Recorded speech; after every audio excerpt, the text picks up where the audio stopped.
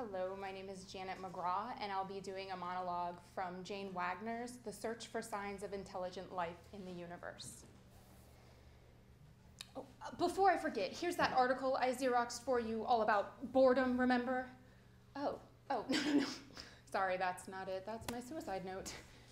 this isn't my suicide note.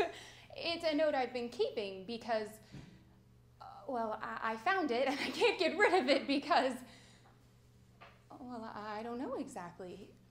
When I was in LA, I found this suicide note in the street where my exercise class is.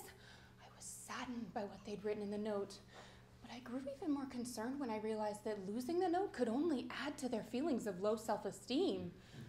Further evidence that they could never do anything right. so, for a while, I kept it in my wallet. And then I grew concerned. Well, uh, suppose something should happen. I should get hit by a car. I get knocked unconscious. The paramedics would come. They'd discover the note. They'd think it was mine and they'd give it to Freddie. Well, it would seem rather strange that I just happened to be carrying someone else's suicide note.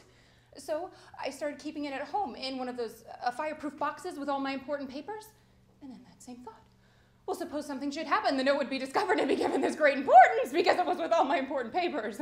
So I started moving the note around my house. Lonnie, I am becoming so forgetful that I was afraid I would misplace it. So I wrote myself a note telling me where the note was. So now I had the suicide note and a note telling me where the suicide note was hidden. So I thought it best just to be kept in my purse. Oh, but don't worry, I've written a note explaining the whole business. Thank you.